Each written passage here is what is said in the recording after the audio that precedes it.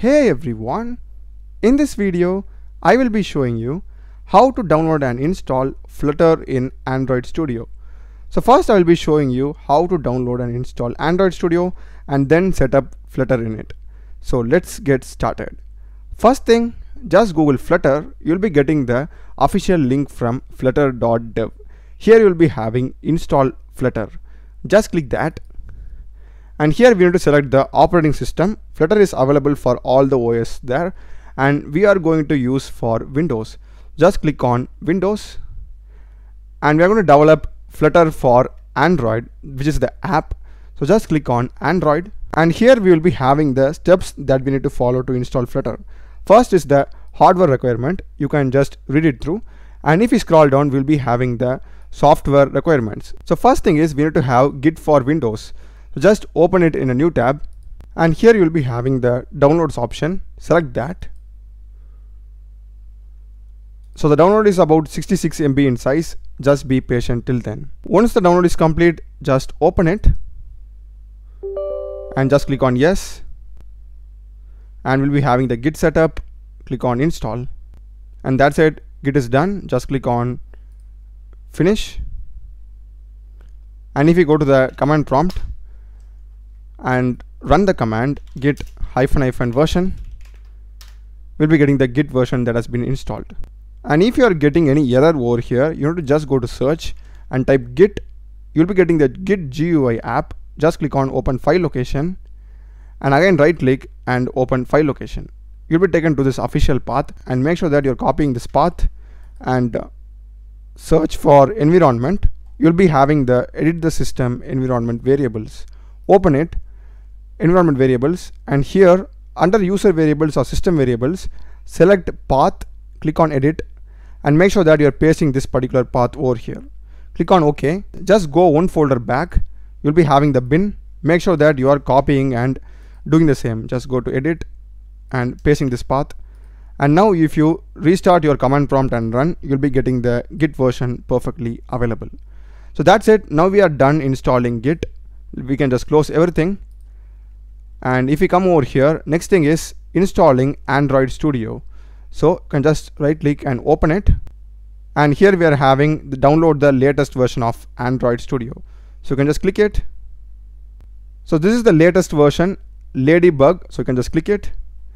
And here we'll be having this agreement. You can just scroll down check this and just click it. So the download is about 1.1 GB in size. Just be patient till then so once the download is complete, just open it and you'll be getting the Android Studio setup. Click on next and make sure that you're checking this Android virtual device which is required to run your app in the emulator. Click on next and this is the default location where Android Studio will be installed. If you want to change it, just click on browse and change it. Just click on next and this is fine. Just click on install. So once the installation is complete, just click on next. And now we don't want to launch Android Studio. You can just uncheck it and just click on finish. That's it. We have done installing Android Studio. So we can just close this. And now if you scroll down, it says we need to configure a text editor. We can use Visual Studio Code, Android Studio or IntelliJ. I've already done installing Android Studio, so we can skip this part. So let's scroll down and next thing is we need to install the Flutter SDK. So for that we aren't using VS Code to install so we can just click on this download and install option. Click it and here we'll be having the Flutter SDK in a zip file. So we can just click here and the download will be getting started. It is also about 1 GB in size so just be patient till then. So once the Flutter SDK zip file has been downloaded just go to your downloads folder. You'll be having this flutter windows stable. Right click and just extract files here. Once it is extracted you can just right click this flutter folder cut it and now go to local disk D or E create a new folder named flutter go inside another new folder. You can basically name this anything. I'll just go with source. And inside this you're just going to paste it so this particular Flutter folder should be always available. You shouldn't delete this because this is the Flutter SDK. Now you have successfully added the Flutter SDK over here. now go inside this extracted folder and you'll be having this bin. Open it and just copy this entire path. And again go to search. Search for environment. The same edit the system environment variables. Open it. Click on environment variables. Select path edit and click on new and paste this particular flutter bin path. Ok everywhere. Open command prompt and just run the command flutter hyphen hyphen version. And now we are getting the flutter version over here. Again run the command flutter space doctor and hit enter. And as you can see here it's throwing me a red color mark for Android Studio.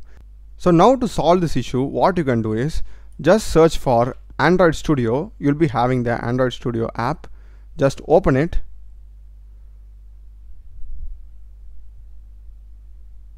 And you'll be getting the Android Studio setup. Just click on next. Just go with standard. Click on next. And these are the things that will be getting installed. So just click on next and these are fine. Just click on accept and just click on finish. So it will take some time to download all the necessary components. After that you'll be getting this. Just click on finish. And that's it. You'll be having this. Welcome to Android Studio. Now we can just check this again. Close everything. Close the command prompt. Again go to search and open a new command prompt and run the command flutter space doctor and hit enter now as you can see here I'm getting a green mark for Android Studio but we're getting another two errors. Let's solve it now. First one is command line tools component is missing. So to solve this just go to search again and open Android Studio. And you'll be getting this welcome to Android Studio screen. Go to projects and you'll be having this more actions drop down.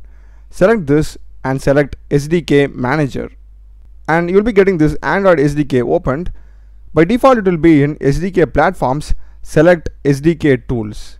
And here as you can see we will be having this Android Studio SDK command line tools latest. So same thing that's throwing the error for us.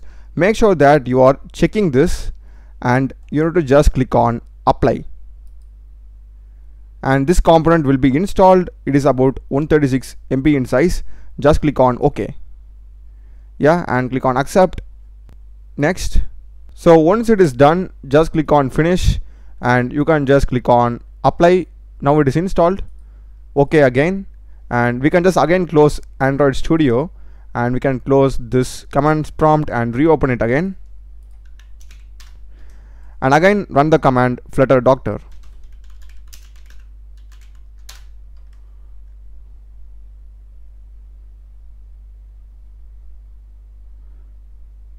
and this time as you can see we have got some license issues.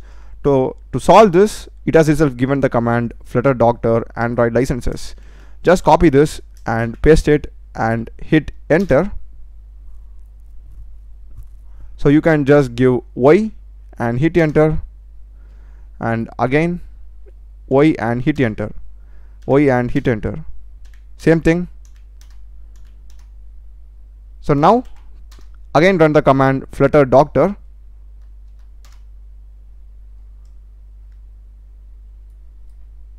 And this time we have got no issues found. So which means that we are good to go. So let me just now close it. And we can just open Android Studio now. And we need to go to plugins. And here you need to search for Flutter. So you'll be having this Flutter plugin this is from Google. So you can just click on install.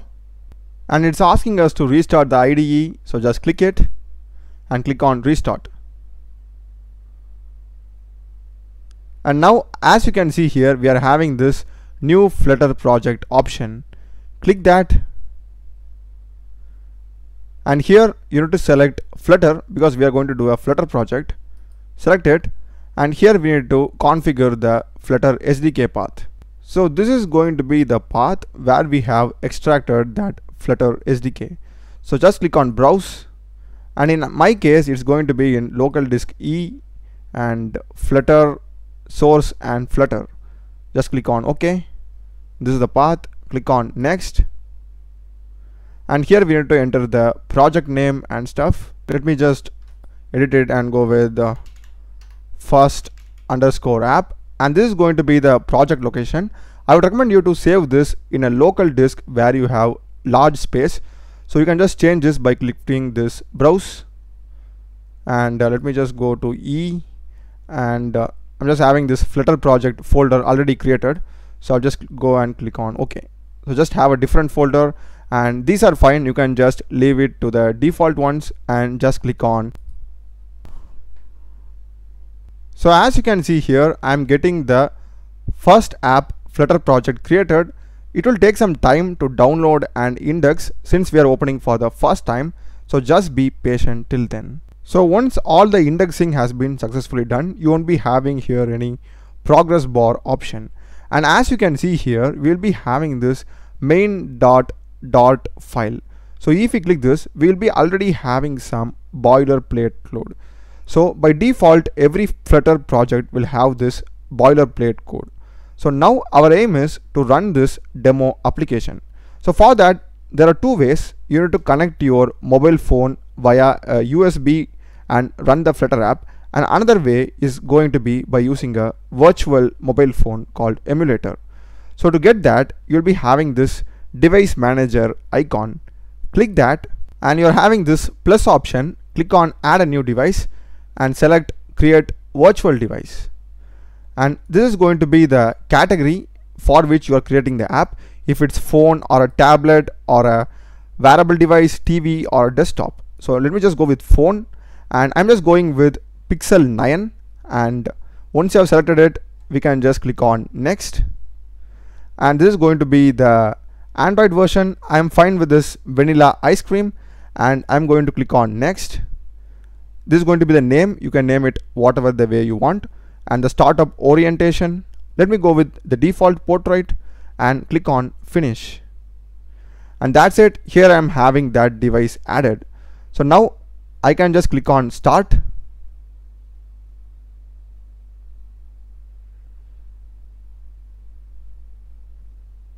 So after some time you will be literally having this Pixel 9 emulator opened over here and also at the top you'll be having this space to select your device.